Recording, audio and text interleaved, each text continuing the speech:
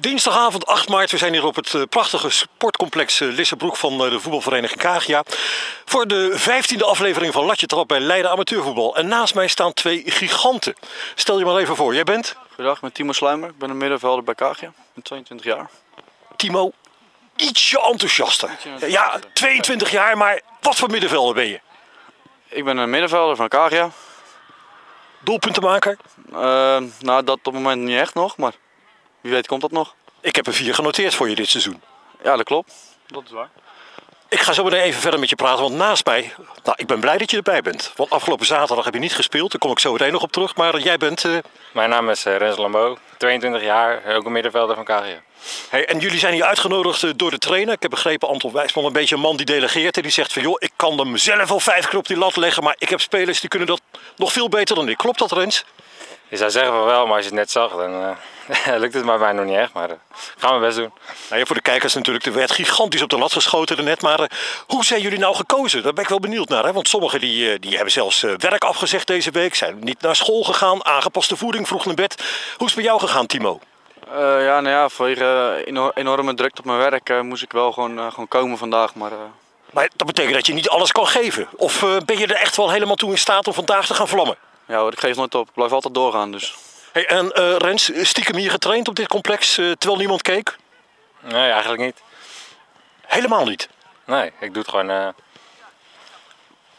wat is dat voor eh Lissabroeks teken? Dat betekent, Ik schot die bal gewoon met mijn links op de lat. je bent echt een, een pure linkspoot waarvoor de mensen naar dit prachtige sportcomplex gaan.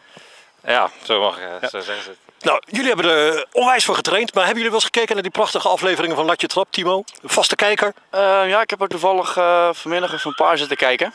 Van eh SJZ, die hadden vijf puntjes, had ik, eh, had ik gezien. Ja, en eh, de koploper, wie is dat? Weet je dat? Ik hoorde net uh, Schees, uh, Jerry Ubink. Dus eh, die Nou. gaan we even verslaan. Oes Geest eh, met 30 punten, dan hebben we 25 punten Meerburg. Nou, Sietseloos heeft er drie opgeschoten. Voetbal Factory 20 punten. Ja, dan heb je nog eh, voorschoten zaterdag met 15. En FC Rijnland onderaan. Valken 68 met 0, maar die hadden een onwijze storm tegen. Wat ga jij erop knallen zo meteen, Timo? Vertel eens, doe eens gek. Ehm nou, ik had net een rondje dat ik er toch vier op had geschoten. Dus ik ga het weer proberen.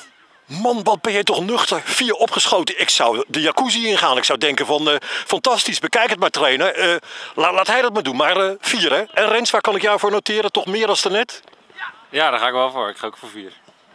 Wie gaat er nou bij jullie beginnen? Gaan we dan op volgorde van lengte, eh, inkomen, intelligentie? Wie gaat er starten? Hebben jullie het afgesproken met elkaar? Nou, we hebben net zwaar overleg gehad eh, voordat we dit gingen doen. En we hadden be- besloten dat de oudste ging, eh, ging beginnen. Dat ben ik. Zo, dat is heel democratisch besloten. Drie Nou, maandjes maar. drie maandjes maar. Nou, ik denk dat we dat zeker aan het schieten. Eh, jij mag eh, gaan beginnen, Timo. Ik zou zeggen, eh, de ballen liggen klaar en eh, wij gaan eens kijken hoe jij dat allemaal ervan af gaat brengen. Succes!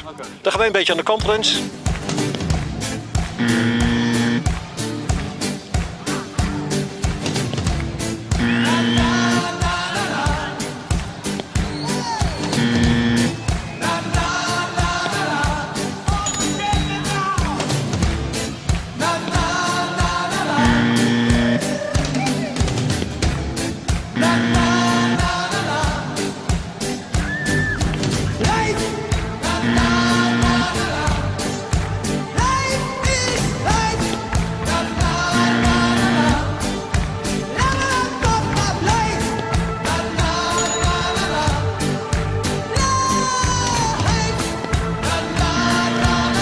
Nou, heren, kom maar even bij de camera.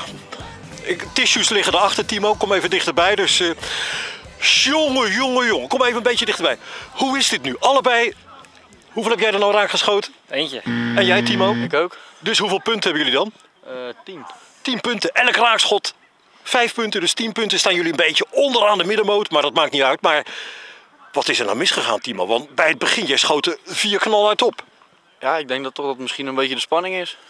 Een beetje de spanning, maar je staat zo helemaal stijf gespannen als een snaar. Maar nou weer een beetje relaxed of eh, valt het mee? Ja, het begint nou alweer een beetje, een beetje kalm te worden. Een beetje kalm te worden.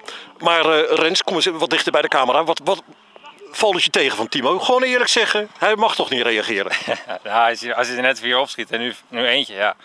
Het had beter gekund, maar eh, Maar dan ben jij zo'n jongen die, die, die in de kleedkamer zo meteen troostend die arm om zijn eh, schouders legt en zoiets van... joh, Timo, kom op, er zijn eigen dingen in het leven. Luister eens naar je jongere medespeler. Ja, ik denk dat we straks gewoon uh, erom lachen.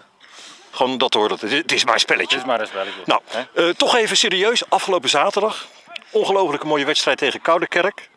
Maar jij deed niet mee. Nee, klopt. Ik, uh, ik had een blessure. En dat was bij Florian gebeurd. En, het, ik had donderdag getraind, maar dat ging niet. Dus uh, geen risico genomen. Ik ga vanavond weer kijken hoe het gaat. Ja, het gerucht ging ook dat je alles opzij hebt gezet voor latje trappen. Nou, ik weet niet wie dat de wereld in heeft gebracht, maar uh, nee, dat is, dat is niet uh, de waarheid. oh, Oké, okay. maar Timo, toch ook een hele bijzondere wedstrijd heb ik begrepen, hè? de doelpunten maken. Het was natuurlijk een uniek moment. Heel apart. En een 1-1 bij jullie. Degene die gescoord heeft. Ja, hoezo is dat apart? Nou ja, hij maakt niet zo vaak een doelpunt. En het moment natuurlijk. Hè. Ja, 1-1 tegen Koudekerk, fantastisch was het. Jullie gaan de komende zaterdag natuurlijk pieken weer. Hè? WDS uit. Thuis 2-2 gespeeld. Wat, wat, verwacht je er dan van? Uh, nou, ik denk toch uh, wel door de vorm waar we nu in zitten... dat we toch wel een, een leuke uitslag neer kunnen zetten... en uh, lekker kunnen gaan voetballen tegen hun. Wat, wat, wat, wat voorspel je, WDS? Rentje loopt steeds verder naar achter, man. Zometeen zitten we in het donker bij het gemeentehuis. Dat gaat hem helemaal niet worden. Wat verwacht jij, Timo? Qua uitslag bedoel je? Ja, qua uitslag. Uh... Uh, nou, ik hoop toch wel uh, dat we toch wel 0-3 kunnen winnen. 0-3. En kan het dan voorkomen dat wij ineens daar zien twee keer T. Sluimer gescoord? Ik hoop het. Ik hoop het. Ik ho ga er nou eens voor je. Zeg gewoon van, trainer, ik ga scoren. Zeg het maar eens even. In die camera. Trainer, ik ga scoren. Trainer, ik ga er twee scoren aankomende zaterdag. Zo. Nou, ik, ik denk de dat... derde. En jij de derde. Maar wat verwacht jij voor de uitslag? Ook 0-3? Ja, 0-4 doen we dan. 0-4. Maar stel je voor, als jullie nou 0-4 pakken en er gaat iets gebeuren tussen Dokels en Kouderkerk, dan kan het gebeuren dat jullie eerste komen te staan, hè? Ja, nou dat zou hartstikke mooi zijn. Rens, aan jou de vraag. Is de platte carver door het dorp al besteld voor het kampioenschap? Nee. Jullie zijn heel realistisch, hè? Ja. Hey, en uh, elke wedstrijd nog een finale? Ja, dat denk ik wel, ja. Waar schatten jullie aan het einde van het seizoen dat jullie staan? Wat, wat denk je? Wat, wat, wat, hoop je? Want hoop is een van jouw meest gebruikte werkwoorden. Timo, wat denk je? Uh, nou ja, ik, ik hoop eerste natuurlijk. Maar uh, ik denk dat we met de tweede plek ook wel, wel redelijk tevreden kunnen zijn. Nou, we gaan even de diepte in nog voor een paar laatste vragen. Rens, als jij het team mag omschrijven wat jullie hebben in één woord. Wat voor team zijn jullie? Uh, gedreven, leergierig. jong team, gezellig team. Iedereen gaat voor elkaar door het vuur. Nou, Timo, hij is er nu niet, maar als ik het woord trainerstaf noem, wat zeg je dan? Goed. Fantastisch. Hey, wat is jullie geheim waardoor mensen weten die hierna komen, wij kunnen er minstens 10 punten scoren? Wat voor tip geef je mij voor die? Moeten ze meer trainen met kunstlicht? Moeten ze aangepaste voeding hebben? Moeten ze uh, langer trainen? Wat is jouw geheim? Ik zou op dieet gaan. Dat heb ik ook gedaan en dat uh, werkt niet echt. En jij, Rens? Een tip? Een tip voor degene die gaan schieten. Uh, nou, bij het oefenen bij ons ging het goed. Er werd er niet gefilmd. Als ik jullie was, zou ik bij het oefenen ook uh, gewoon lekker die camera aanzetten. Dus er moet gewoon meer druk op komen. Nou, hey, ik wil jullie ongelooflijk bedanken voor jullie sportieve inbreng hier. 10 punten genoteerd in deze 15e aflevering van Latje Trap. Gaan de volgende keer gaan we naar RCL, een tweede klasse. Nou, en ik durf zeker te wedden als ze naar deze tips van jullie hebben geluisterd. Of ze er meer halen als 10 weet ik niet, maar uh, jullie ongelooflijk bedankt. Tot de volgende keer.